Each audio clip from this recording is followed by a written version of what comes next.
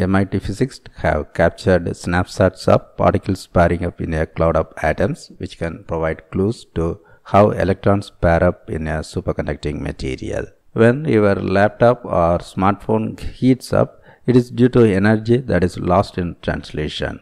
The same goes for power lines that transmit electricity between cities. In fact, around 10% of the generated energy is lost in the transmission of electricity. That is because the electrons that carry electric charge do so as free agents, bumping and uh, grazing against other electrons as they move collectively through power cords and transmission lines. All this jostling generates friction and ultimately heat. But when electrons pair up, they can rise above the fray and glide through a material without friction. This superconducting behavior occurs in a range of materials, though at ultra cold temperatures.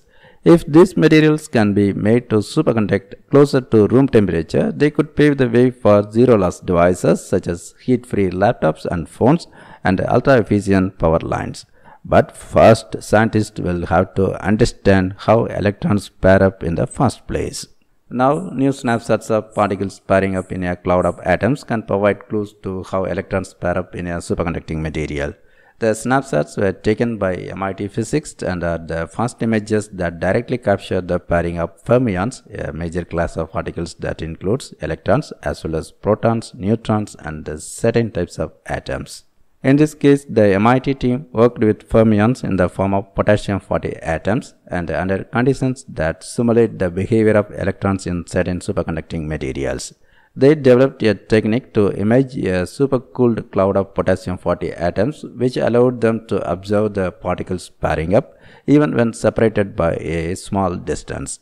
They could also pick out interesting patterns and behaviors, such as the way pairs formed checkerboards, which were disturbed by lonely singles passing by. The observations reported in the journal Science can serve as a visual blueprint for how electrons may pair up in superconducting materials. The results may also help to describe how neutrons pair up to form an intensely dense and churning superfluid within neutron stars. Fermion pairing is at the basis of superconductivity and many phenomena in nuclear physics. But no one had seen this pairing in situ. The study author Martin Zwierlein says that so it was just breathtaking to then finally see these images on screen faithfully. To directly observe electrons pair up is an impossible task. They are simply too small and too fast to capture with existing imaging techniques. To understand their behavior, physicists like Zwierlein have looked to analogous systems of atoms. Both electrons and certain atoms, despite their difference in size, are similar in that they are fermions, particles that exhibit a property known as half integer spin. When fermions of opposite spin interact, they can pair up as electrons do in superconductors and as certain atoms do in a cloud of gas. Zwierlein's group has been studying the behavior of potassium 40 atoms, which are known fermions that can be prepared in one of two spin states. When a potassium atom of one spin interacts with an atom of another spin, they can form a pair similar to superconducting electrons. But under normal room temperature conditions, the atoms interact in a blur that is difficult to capture. To get a decent view of their behavior, Zwierlein and his colleagues studied the particles as a very dilute gas of about 1000 atoms that they place under ultra cold nanokelvin conditions that slow the atoms to a crawl. The researchers also contained the gas within an optical lattice or a grid of laser light that the atoms can hop within and that the researchers can use as a map to pinpoint the atoms' precise locations. In their new study, the team made enhancements to their existing technique for imaging fermions that enable them to momentarily freeze the atoms in place, then take snapshots separately of potassium 40 atoms with one particular spin or the other.